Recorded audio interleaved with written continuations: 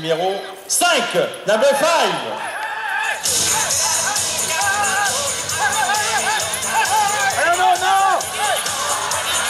Out Même chose que les...